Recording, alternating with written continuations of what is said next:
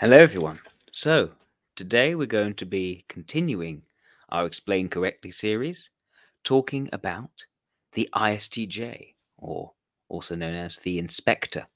So, if you recall uh, from my J versus P video, as well as my other videos about the introverts, um, I am not going to be um, utilizing um, the usual MBTI convention for what is a J and what is a P. I feel that the um, ill-considered notion that J being derived from whichever of the top two cognitive functions that are rational being extroverted is what constitutes a J. Well, I think that is it has had a debilitating effect on how the cognitive functions can be well understood.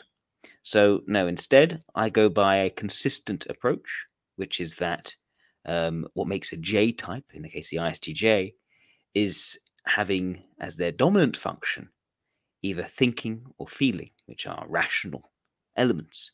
So, the ISTJ, I would say, is not SI plus TE, but rather TI plus SE. And this is where a real understanding of Jayishness can actually come out, can come about. You actually need TI and SE, not SI and TE, to have the understanding of a J as opposed to a P. Why is this? Well, if you understand TI and SE correctly, then you acknowledge that this is about structure, which is TI, uh, logical structure, um, things being internally consistent um, that structure being imposed via extroverted sensation onto the physical reality. So, this is the true imposition of order combination, TI and SE, not SI and TE, as we will come to see. Now, unfortunately, because of the JP switch difficulty, which the MBTI has encountered, they have confused essentially the ISTJ and the ISTP. The true ISTJ, this order enforcer, this inspector figure, you could say, is very much a type that needs to be TI and SE, not SI TE. And we'll talk about SI TE when we eventually reach the ISTP explained correctly. So, now let's talk about this ISTJ. Well, as I said, TI and SE is that order enforcing uh, combination. And the idea here is that introverted thinking is the dominant function. This is what drives the ISTJ's motivations. ISTJs are perhaps the most clear cut, most um, order oriented types out of all the out of all the different types available. They are the ones which are very much about everything needing to make sense, needing to be clear, needing to be ordered, and these are the types that will wade into the environments of ambiguity and enforce an order, bring things into a pinning down of sense, you could say. They have no room in them for nonsense. Uh, ISTJs enforce what is structured, you could say. They have this, often have a very strong, rational, orderly mind for how they make sense of things around them. They understand criteria and they're very specific about making sure those criteria are absolutely true, are absolutely um, unimpeachable. Um, they have a rigor in their ability to break apart uh, dodgy or false ideas to find and assert the absolute truth underneath, or to discard the thing which lacks in truth. They are very uncompromising in making sure that whatever they do is utterly consistent, utterly impregnable in its logical argumentation. And they lean towards formulating clear structures, clear rules, clear boundaries, anything like this to make sure that their environment is ordered, is made sense of. Now, supporting their introverted thinking, therefore, is an extroverted sensation. This is how an ISTJ is different to an INTJ, whereas the INTJ lacks the ability to enforce their structures onto reality. They don't particularly care for it. They prefer to explore different possibilities around their structures. ISTJs, these are the ones who enforce the order. These are the ones who say, This is what makes sense, so I will make it so in my reality. I will impose that onto my surroundings. I will draw a line in the sand, and whoever thinks it clever to cross said line will have the consequences of their actions enforced upon them. These rules are made writ either in nature or through the force of my will. That is the nature of an ISTJ, to make sure that the structure is upheld by real life consequence. So these aren't types that allow for ambiguity, expiration, all that sort of stuff. No, it's a very clear cut, very confident. This is what the truth is, and this is what we're acting upon. So, you find they make natural enforcers, natural policemen, hence the name inspector can often come into account here um, but could very easily also be rule give lawgivers to a society, a judge in society, someone who, without arbitrariness, weighs things up according to what the rules are and applies that. And saying that it's not necessarily the case that ISTJs will be um, necessarily the upholders of the established order if they disagree with the established order and finds it to be faulty or hypocritical, they could even be the leader of a revolution against said order to tear it down and start afresh with a new order. Because that's the thing, they don't compromise. They are types which need to, if something is untrue, it needs to be torn asunder and the new structure brought. It's that absoluteness in their clarity which is de- is defi- definitional for an ISTJ. Um, Next, you move to the super ego, super ego block because the ego block that's what they're strong at. They value what they bring to the world. Now, this is what is kind of expected of them, but they don't necessarily conform to it. So, this is the realm of introverted feeling and extroverted intuition. ISTJs are types that often struggle with seeing and factoring in different people's perspectives and taking per- making personal exceptions for each individual and their unique circumstances and exploring those unique circumstances. For an ISTJ, the rules need to be applied consistently in all cases. It is the hand of justice and not necessarily the hand of mercy when it comes to an ISTJ. So these are types which can struggle in this sort of very FI and NE kind of space. Uh, what they can do somewhat is their introverted feeling. ISTJs are types which can build um, stronger, closer relationships with others. They can be quite loyal to certain people. They know how to manage people on the one to one to some degree. They aren't um, utterly masterful at it, but they can certainly handle that. They can manage that well. Uh, you can think of examples of ISTJs, those who are a bit more ambitious may climb the, say, a political hierarchy or something like that through their managing of close one to one relationships in backroom conversations. They aren't ones for the big public's display. That's not where their strength lies, but they can certainly apply their will through their one to one relationships quite effectively. Um, so yes, they are good at forming forming that, but they struggle with the idea of compromising their principles or their structures, their ideologies in favor of personal one to one favoritism. So these are types who are inclined to see people less in terms of their personal character and more in terms of their adherence to the right structure or way of thinking that the ISTJ expects. And when it comes to applying their rules and structures, they will they will not be let so interested in personal intentions, what someone meant to do, and all that sort of thing. They'll be more interested in whether the rule has been transgressed or not, and what the appropriate um, form of justice is for the transgression of that rule. Hence, justice is applied across um, different people based on their dictate. Um, now, what they are less able to do, what is their blind spot, that would be extroverted intuition.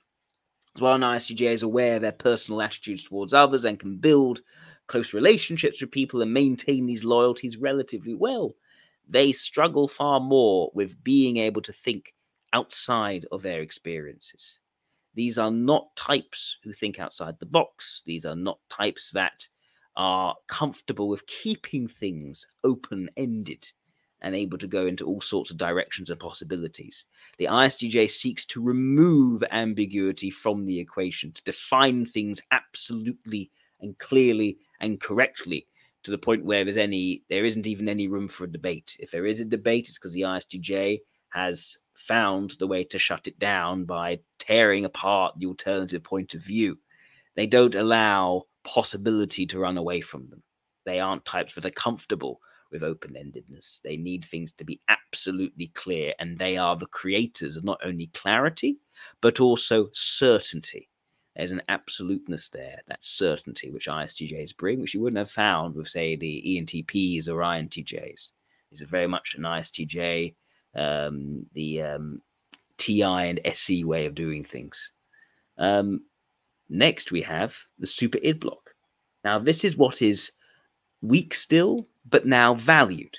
So for ISTJs, these are quite intense characters. They have a certain steeliness of intensity. They are longing to feel impassioned. The problem is, ISTJs come across as kind of cold, sometimes a bit stiff at times, you might say.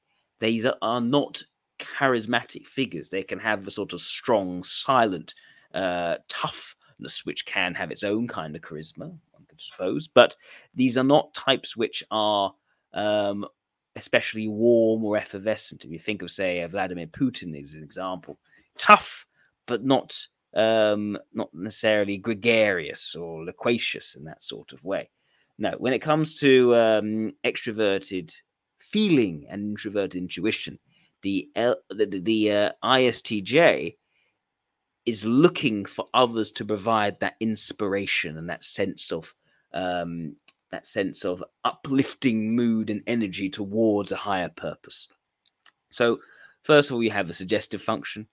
This is what the ISTJ is very weak at. They are not charismatic people.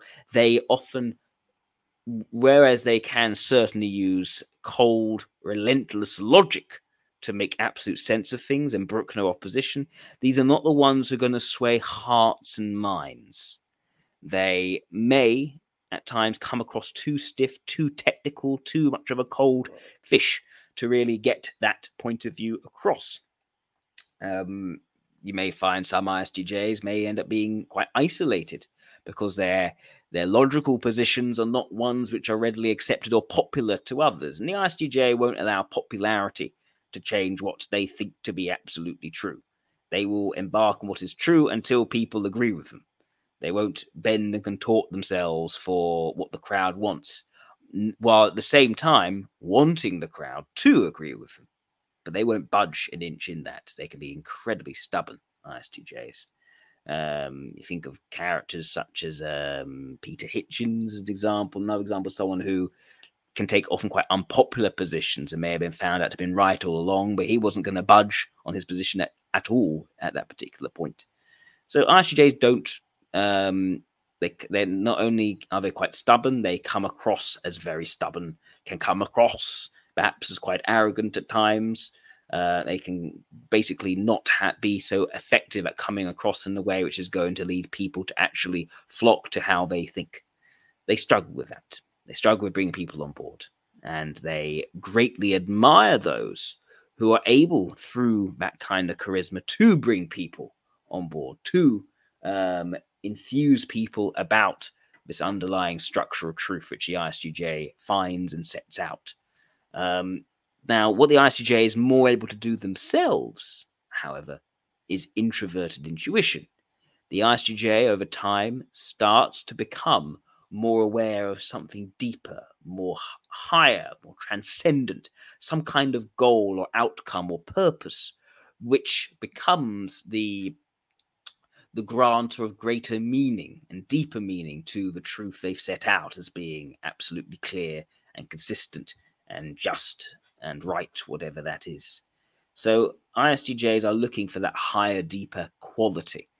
And over time, they start to know what that is. When an ISTJ finds that path of meaning, of purpose, whatever it is, of significance, the that then allows them to narrow down all the other possibilities. ISTJs are types that because they don't brook ambiguity, they don't like to open things up. It's with introvert intuition that they learn to truly close down all alternative uh, positions to just the path ahead, at which they will go forwards, uh, often with um, sheer determination.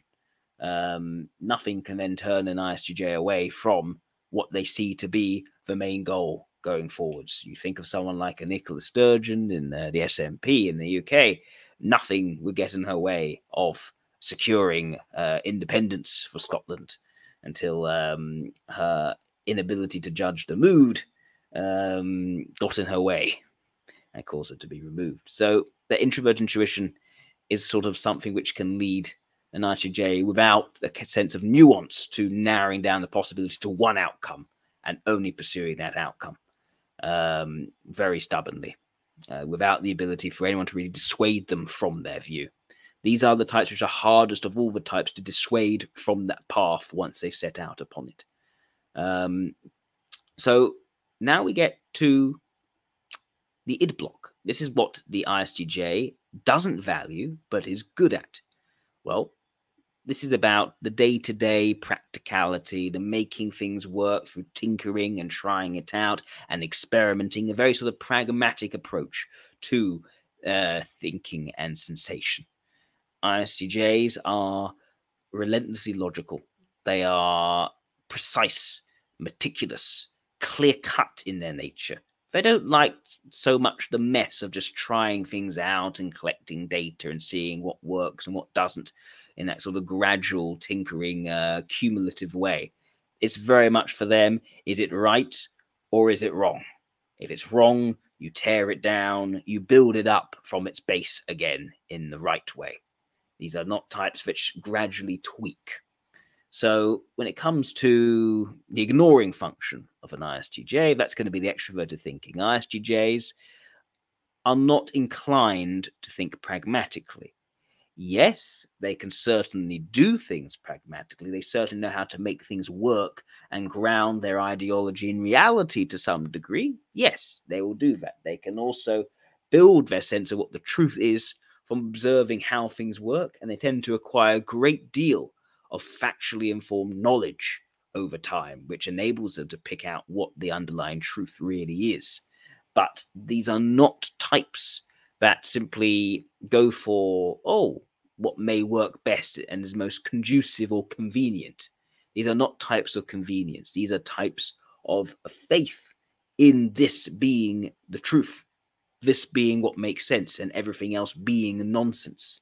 So these are not types that are going to easily compromise and find the way that leads to a practical advantage here, but actually means compromising on what you believe in that's not the point of an ISTJ. They can certainly see where what other compromises which don't uh, go against their structures they may be willing to make, but they're not going to do that if it goes against, runs counter to the structure they happen to uphold and believe in. You can sometimes see ISTJs behaving quite differently simply because you might not know exactly what their structure is. Of course, they might necessarily tell you, um, but this is meant to be the rule in terms of our introverted thinking over extroverted thinking for an ISTJ. Um, yes. Now, the other part here is the demonstrative function, and this is introverted sensation. So, whereas an ISTJ will only use a sort of more practical, more pragmatic, and situational kind of logic sparingly, where it is required by their introverted thinking, right, to do it, right, where it's in line with their principles, it's in line with the structure they're trying to uphold. Introverted sensation, on the other hand, they're going to be using far more readily and in the background. What you'll see with ISTJs is, is although they have that steely intensity, these are not types that are likely to burn out. They're not types that like to fill the room with too much energy, you could say. It's very contained with ISTJ.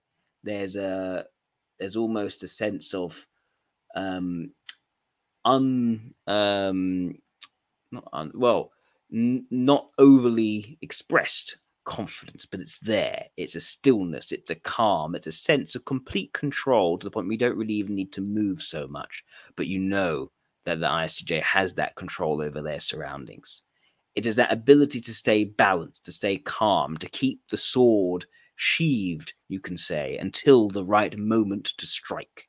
And the ISTJ has that in spades. They know exactly when to be have their feet on the ground, how to be aware of the balance and flow and harmony in the day to day, how to keep their their struggles towards a certain ideology or philosophy, whatever it is, sustainable over time, rather than blow hard and blow hot and cold. These are types who maintain a very even keeled rate of energy use in their lives. And also to help them in their structure and correctness, they have a fantastic eye for detail. They'll keep things very clear cut, both aesthetically and logically, and they'll drill in in detail to exactly what is sticking out to remove the problem from the root. So, introverted sensation is a very useful tool for an ISTJ in order to be more clear, more absolute in their approach, and more sustainable in their delivery towards the outcomes they think are most important. Anyway, that was the ISTJ. If you want to learn more about the various types, please consider taking my course. My course introducing socionics, which is, in my opinion, the best approach to Jungian typology, the only true approach, you could say, if you're thinking more like an ISTJ. Well, it is the best so far, of course. It's certainly a great deal better than the Myers Briggs type indicator, which you may be more used to. Either way, if you want to find out more if what I've said has intrigued you, please email worldsocionics at hotmail.com with uh, an email titled course. I can tell you more about the course and how to give you as much knowledge as is currently in my head about typology. So, yes, there's also a video following up to give you more information. So, thank you. Thank you for tuning in. All the best.